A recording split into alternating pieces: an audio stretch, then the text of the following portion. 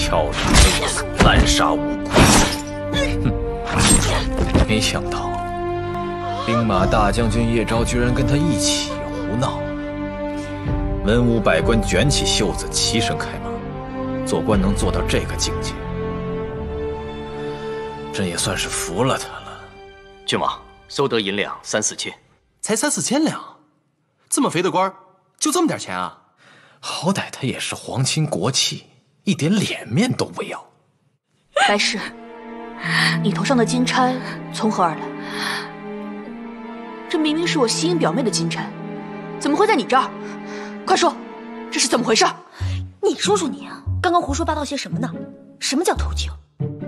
那不叫偷情，叫什么？哦，我知道了，叫红杏出墙。眼下得想出一个好办法，让那些人心甘情愿的把粮食捐过来。既然是在我们的地盘上，就得按照咱们的规矩办事儿。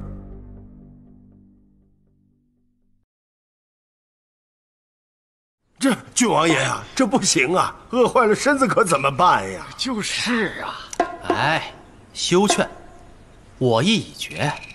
郡王，这您身子尊贵，怎么能忍受这饥饿的摧残呢？就是啊。您这一天光喝茶不吃饭，您这您这肚子受得了吗？哎，没事的，男子汉义字当先，为百姓挨点饿算什么？郡王爷。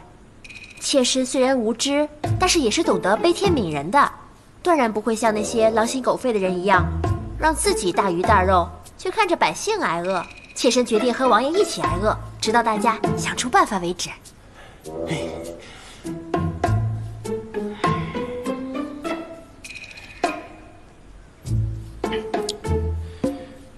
这秀水州的水质清冽，空气清新，民风淳朴，大户人家的老爷们。也都是忠义之士。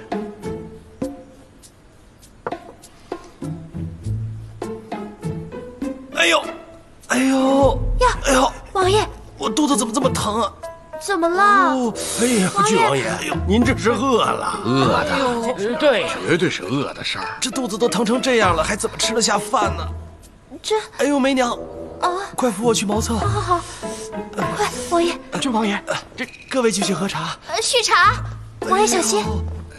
哎，小心！那既然郡王爷身体不适，我们隔日再来拜见吧。哎，走走走走走，改日改日。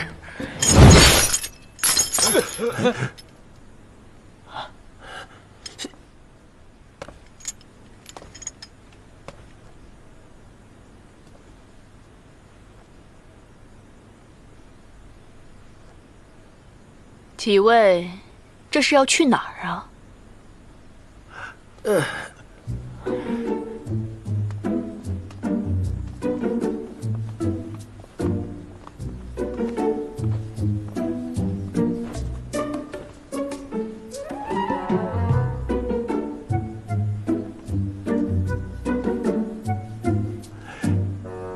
这两个王八蛋，说是去上茅房。肯定是上厨房偷偷吃饱了再回来，这是要把我们活活饿死啊！这是昨天呐就没吃干粮，这今天灌了一天的茶水，这肚子里头他晃荡啊！真想给这个混蛋灌点催吐的药，我直接把他肚子给拉开，看看他吃的什么玩意儿！王八蛋！都记下了。哎呦！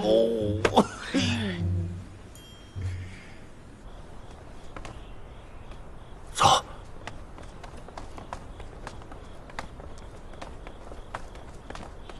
我跟你说，郡王太不是东西了。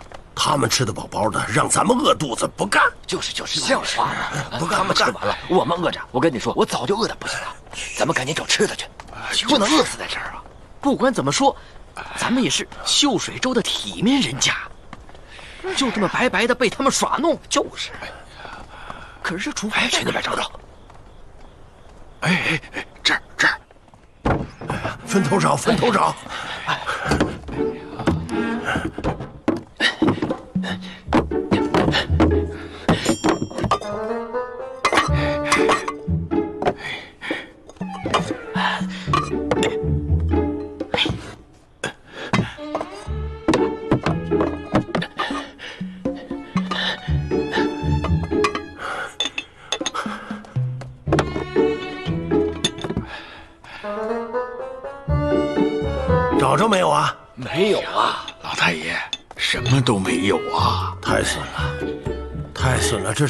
整我们呢。就是啊，这厨房归置的也太干净了，一粒米他也没给咱们留下。是是。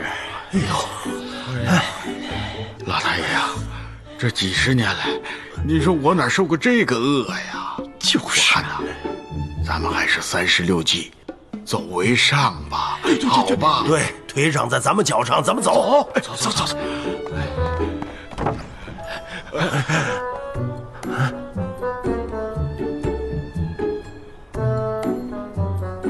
几位老爷，您不是上茅房吗？怎么上厨房来了？走吧，郡王爷等着你们喝茶呢。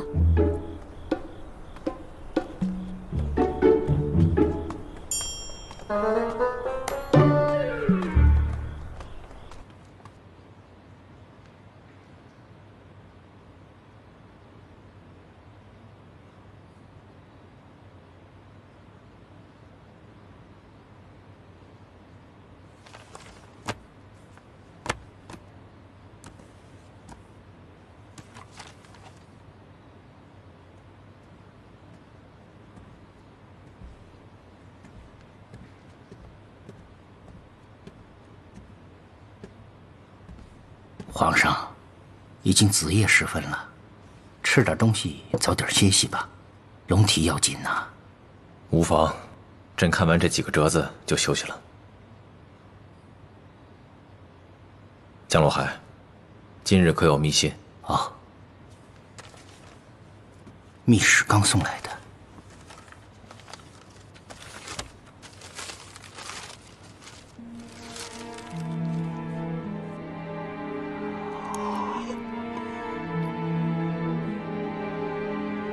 早已经改道去了秀水，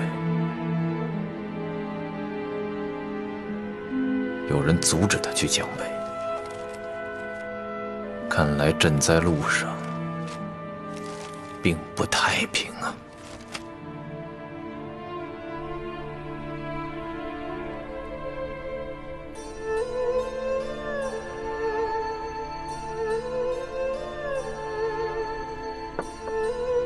怎么样？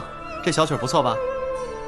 各位都是见过大世面的人，与我等坐井观天的废物不同。此次赈灾还全靠大家想办法了。赈灾结束之后，本王给你们在秀水州立碑，让各位百姓记得大家的丰功。下官无能，下官愿意以节食惩罚自己。没错，这么多年朝廷的俸禄都喂到狗肚子里去了，还不快快！向胡老爷请教一下如何办事。筹粮之事，还请诸位大人们多多指教。小瞎子，哎，赶紧去给我挨家户通知，就说各位当家的正在接受南平郡王的热情款待，共商赈灾大计，叫他们明天的饭菜也不用准备了。郡王，小的早就已经一一禀报过了。好，有长进。我们什么时候吃过你的大鱼大肉了？你啊！我女婿陆振廷在京城那也是有头有脸的人物啊！你这么虐待我们，你不怕报应啊？没错，陆爷德才兼备，乃是一等一的好管家、好奴才。胡老太爷虎父无犬子，教育有方，愿意以身作则，与民分忧。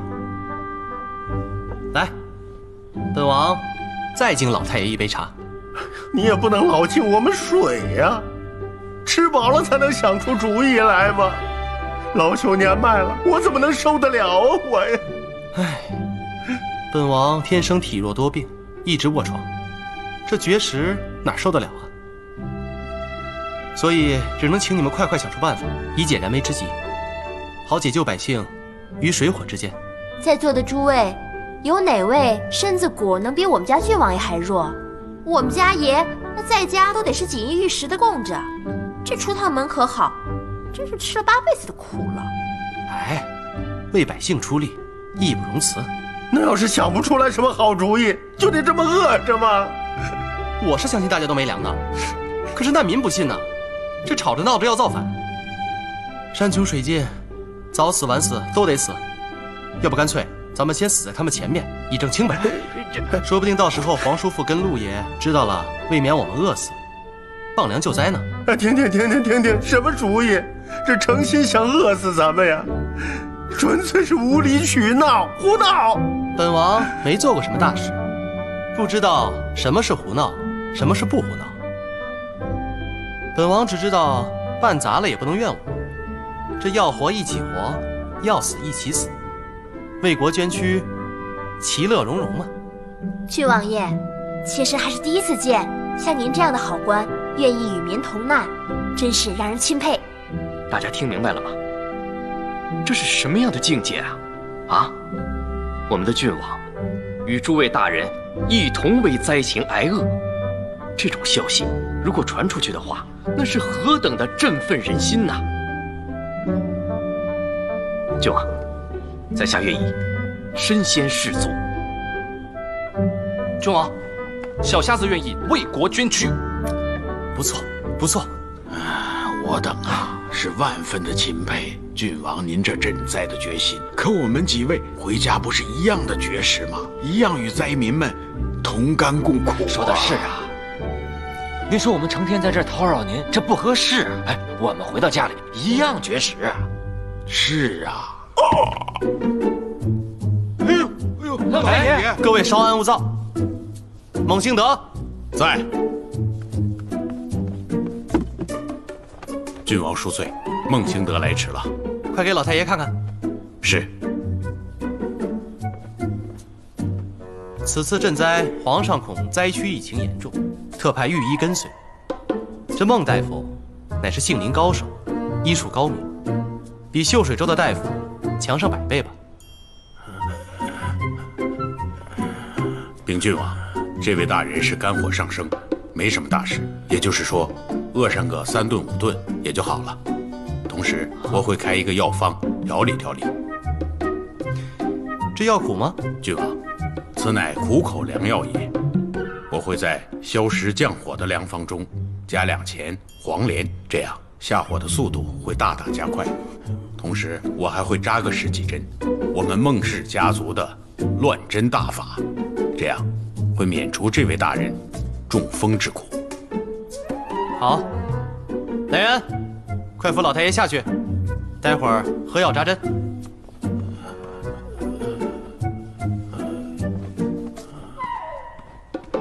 郡王，在下告辞了。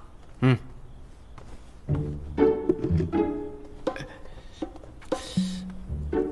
呃，那个郡王。你看，我们几个在这儿也耽误了不少时间了。我们是不是可以回去？家里还有买卖需要照顾，还有一家老小等着吃饭呢。这到处都没钱没粮，道路阻塞，谁上你们家去购物啊？要不，君王，我看这样吧，我我出十担粮食。什么？十担？本王没听错吧？才十担粮食？本王这苦口婆心寓教于乐说了半天，这才挤出十担粮食。来人，上酒菜。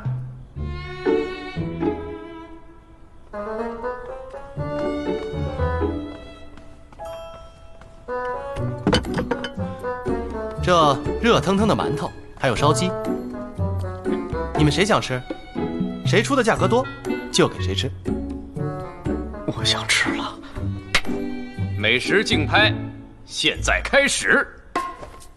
我出，我出二十担，我出二十担粮食。有潜力，继续加。我这桌酒菜，一百担粮食，一百担，好，一百担一次。一百担两次，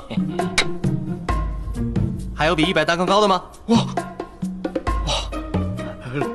论财力，论物力，我赵老板在秀水也算是顶尖的人物了。这这桌饭菜我出，我我出五百担。哎，这就对了嘛！坦诚相待，摘下面具。还有加的吗？我来。你。这赵掌柜的是打肿脸充胖子，我那才是咱们秀水州的隐身富豪。今儿个我就给您露露富，这桌酒菜，一千担粮食。哇，一千担，好！原来洪当家才是低调大气的民间富豪，大隐隐于市，有魄力，有担当。一千担一次。一千担两次，一千担就能吃到热腾腾的馒头，就能吃上热腾腾的馒头。一千担就能吃到热腾腾的烧鸡，还有加的吗？你们不想吃吗？你们就不想吃吗？还有想吃的没？想吃就竞拍，想吃就竞拍。好，一千担成交，成交。好，恭喜洪大人，还等美食一顿呢。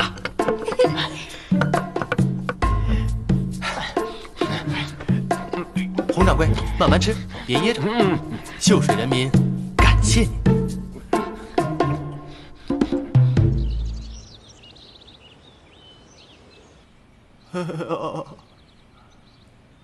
哎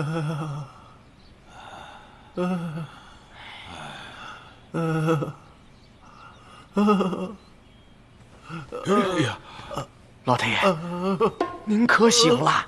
慢点，慢点。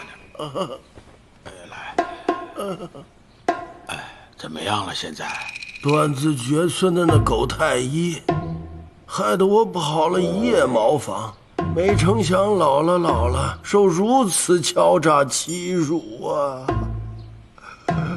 老太爷，您说您那个女婿在千里之外的京城，他就是想救您，他也来不及呀。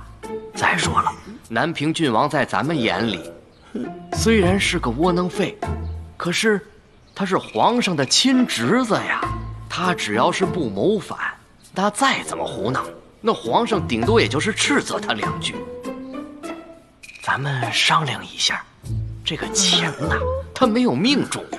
您看这个，啊，老太爷，是啊，赵掌柜说的对，我看这郡王啊是要活活的给咱剥层皮呀。可又说回来了，只要咱们家族的根骨尚在，就算他一时低迷，日后也能东山再起，不是啊？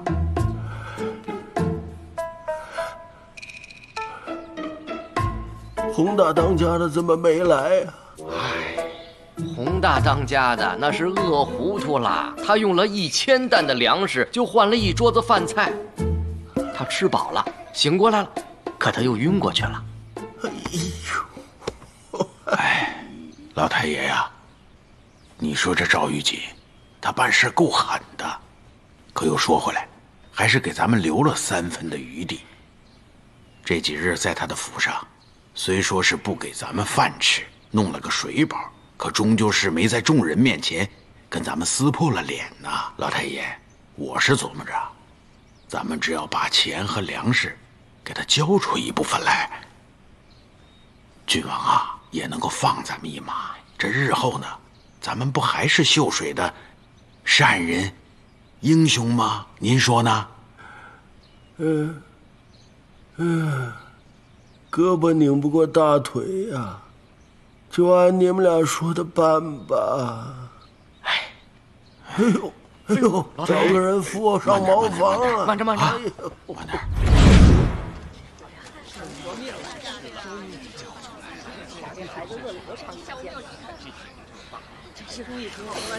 阿周，八扁。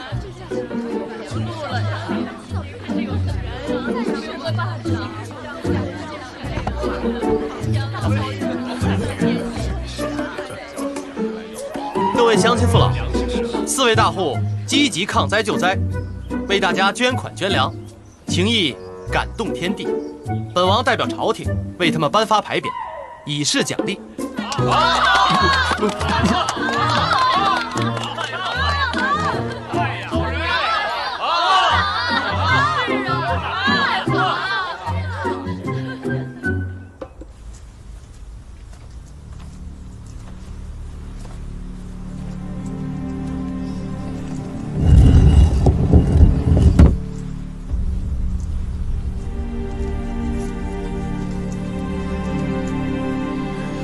批物资运送进去，一定要好生看管，千万不要走漏任何风声。请王爷放心，老奴在此守候十年，不曾出过半点差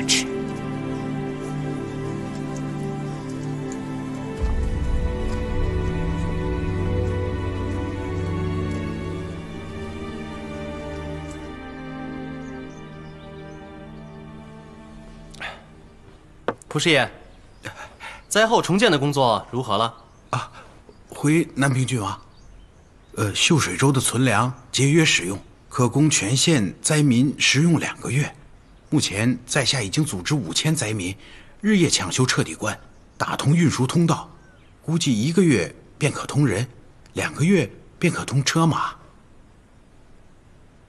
禀郡王，在下已将秀水州的受灾情况还有赈灾进展。一一写进报表，请郡王审阅。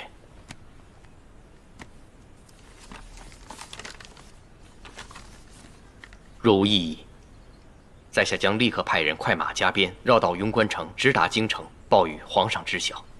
倘若可以彻底打通彻底关之后，皇上自会调粮前来。海大人，你说说蒲师爷的工作情况如何？蒲师爷自从亲眼目睹将军斩杀了张有德父子之后，主动交出了赃款，积极配合赈灾，工作更是兢兢业业，万事亲力亲为，与灾民同吃同住，充分体现了蒲师爷的才智与谋略，口碑极好，深得百姓称颂。这太祖的玄铁鞭果真厉害啊！照这样下去，估计又会出一个好官。将军教育的是，郡王鼓励的对。对了，蒲师爷，你对下一步的赈灾工作有什么想法？哦，在下有一点点构想，呃，请郡王过目。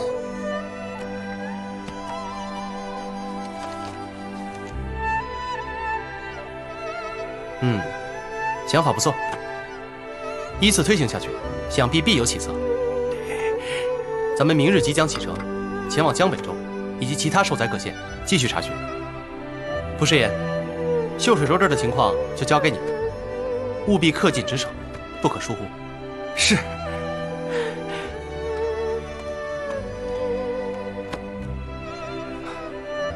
海大人，启奏皇上，请他册封蒲师爷为秀水州的临时知州，让他打理一系列的灾后情况。是。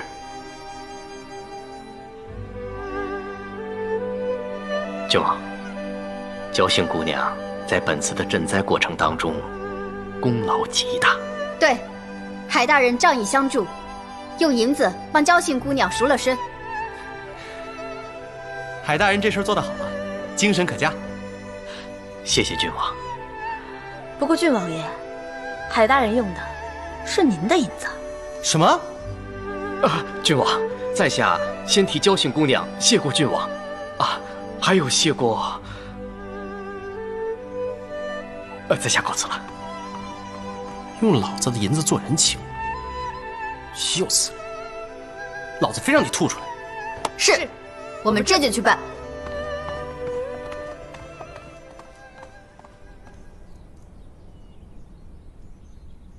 这是战国时阴阳先生留下的一块预测石碑。你们看看怎么样？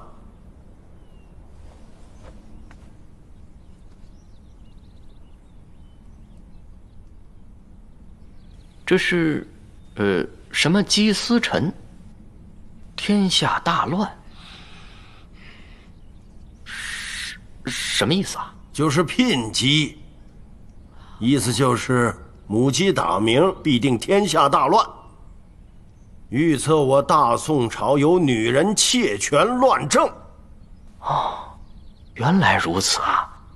天意彰显有妇女祸乱朝纲呢。看这石碑啊，碑文残缺，字迹模糊，不过确实是块古董啊。是啊，书法龙飞凤舞，定是前朝高人所题。这块石碑，一定要让他直通朝廷，让皇上知道。火阎王两口子狼狈为奸，洗劫我们几家的家财，在京城竟然把我女婿的肋骨给打断了，这口恶气不出不行。那是，我们要有仇报仇，有冤申冤。可是我们人微言轻啊，人家是朝廷大臣，我们这个仇怎么报啊？嗯活阎王做事绝情，不留后路，在京城结下了许多仇家，人家正寻他们报仇呢。谁？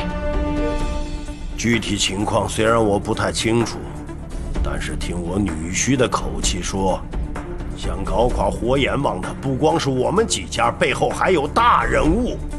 所以说，现在是我们报仇的时候到了。老太爷，这么着，只要您报仇有路。我们就跟着你干。对，我会派人把这块石碑埋到深山里，十天半月以后再把它挖出来。你们负责造大舆论，越大越好，消息一定要传到京城文武百官和皇上的耳朵里。剩下的事情就交给我女婿办，肯定会成功。听明白了吗？明白。好。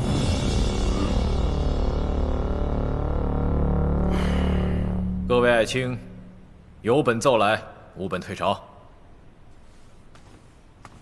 臣有奏，准。今日臣听闻，秀水州出现了一件怪事。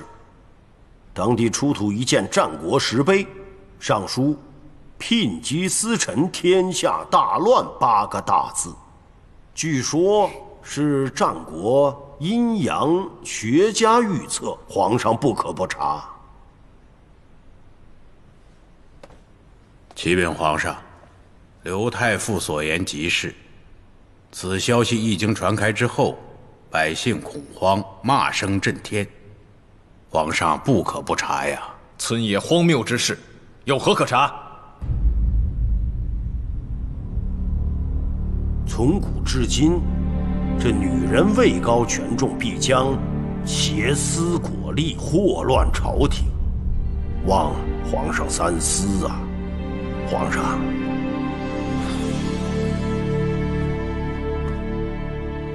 几块石碑就能讽人罪过、喻人生死，那还有我们这些朝中大臣又有何用呢？范大人的言辞过于草率吧？此乃老天降罪大宋，要以作警醒啊！望皇上明察。皇上，臣冒死谏言。如将此重任交给奸佞小人与女人，任由其发展，国将不国呀！望皇上明察。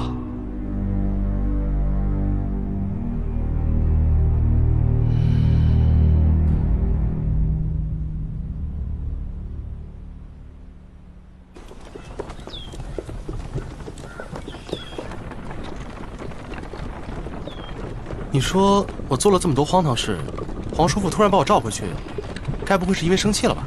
不好说呀。这回总该免我的官了吧？嗯，应该是。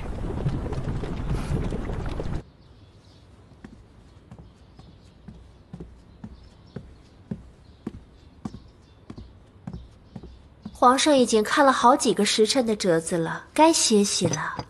这碗燕窝。臣妾都已经热了三遍了，皇上趁热把它喝了吧。朕就不明白了，这赵玉锦一直胡闹，怎么跟叶昭成亲以后越来越离谱了？这赵玉锦简直就是头号病毒啊！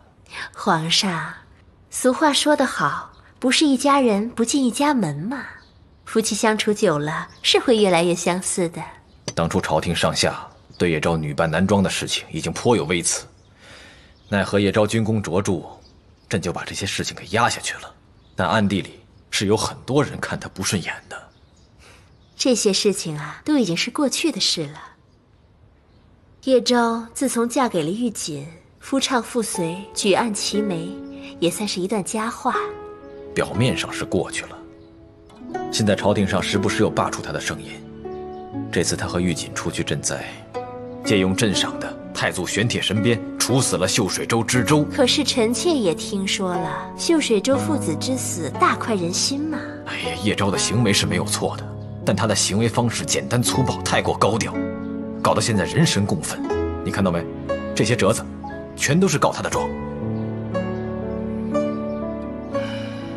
臣妾以为，越是这种情况，皇上越应该保护叶将军才是，不然助长了邪恶风气，打击了忠良将才。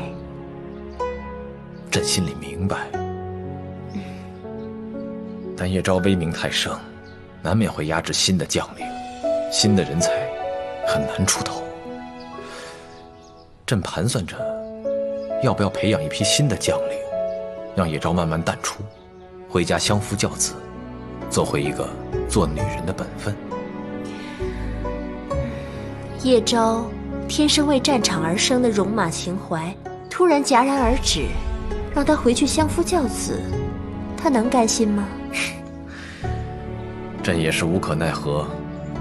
爱妃有所不知，现在刘太傅和吕相这帮人，揪着秀水出的一块石头不放，说什么聘姬司臣，天下大乱。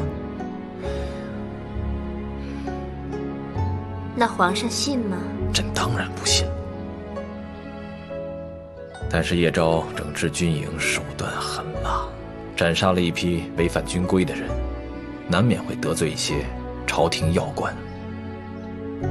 但朕在想，如果朕一味的重用叶昭，那叶昭的地位会越来越高，将来难免会影响我大宋长治久安。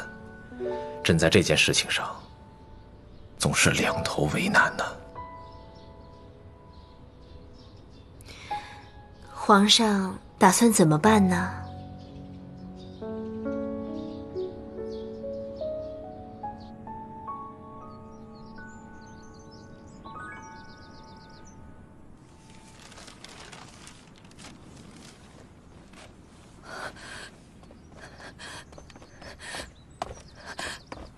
王爷。夫人不见了，刚才老奴去夫人的房间，发现夫人不见了，四处寻找都没有。夫人出门穿的斗篷也不见了。府里有什么东西丢了吗？地地下两层的门锁，好像被人动过了。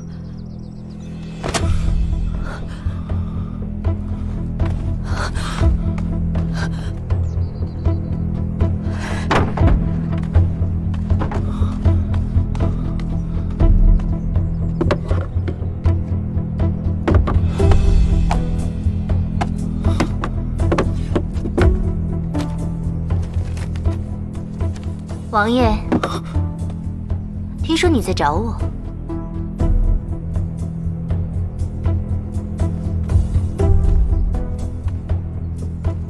啊，夫人，什么时候回来的？我一直在府上啊。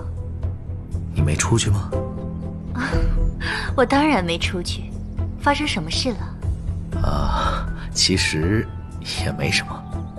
吕相啊。给了本王一盒上好的茶叶，上好的珍品，说是西域进贡来的。本王一时心急，想和夫人一起品尝品尝。夫人，请。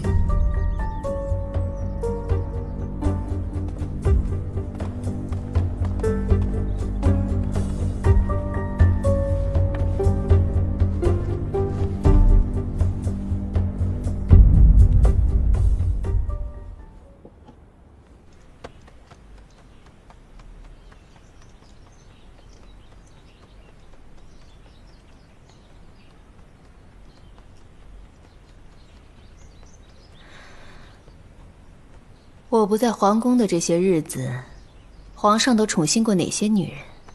只要还是张贵妃，皇上偶尔也对别的嫔妃有灵性的，只不过都比不上这段时间，皇上陪皇后娘娘的时间多。这阵子的亲密，是张贵妃都望尘莫及了呢。嗯。今儿个江公公来传令，说皇上今夜又要过来就寝，娘娘且打扮的再漂亮些。报，刑部都官郭福山求见。哥哥，快请进来。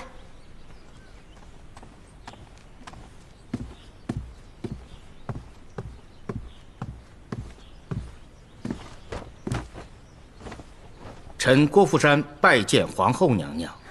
哥哥，快请起。自家人见面，无需如此多礼。谢皇后。你们下去吧。哥哥，快请坐。谢皇后。咱们兄妹许久没见面了。哥哥此去南沙。为朝廷立下汗马功劳，为郭家争得非凡荣耀。妹妹这次能被皇上接回宫，也全仰仗哥哥的荫庇。妹妹此话言重了，哥哥的所作所为与国家社稷和家族都是分内之事。哥哥今日来的匆忙，是有什么急事吗？确有一要事。要告知于妹妹。我自回京之后，皇上令我官复原职。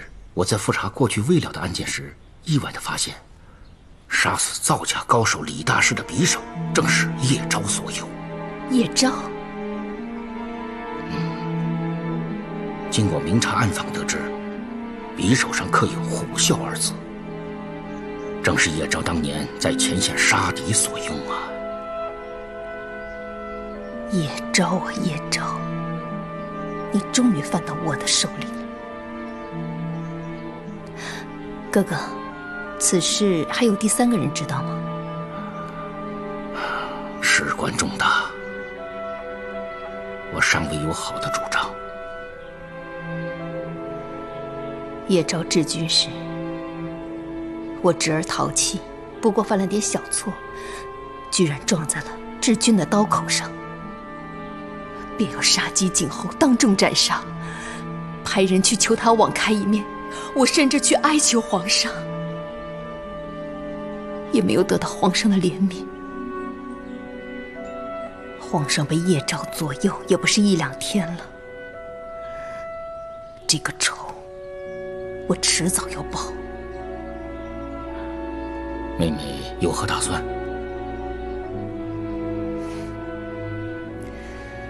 叶昭在秀水州斩杀张之周父子，又伙同南平郡王一起抢劫当地大户，闹得人神共愤。最近一段时间，吕相爷和柳太傅也收集了不少叶昭治军的罪证。我呢，就暗中联络了那些被斩杀的家属，共同造势。叶昭治军斩杀京城官员的子女。不是一个两个了，确实数计不少啊。可不是嘛。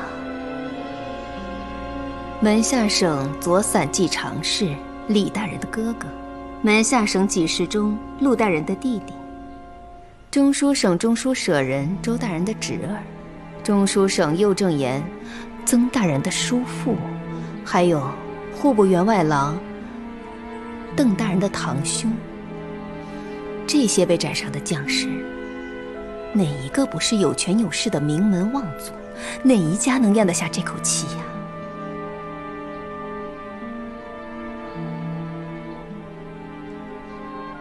彼时吞酸忍泪，是因为叶昭深得皇上的宠信，风头正旺。如今满朝文武都出来指证他，皇上就算要袒护他，想必也骑虎难下。哥哥，你现在就把匕首亲自交到皇上的手里。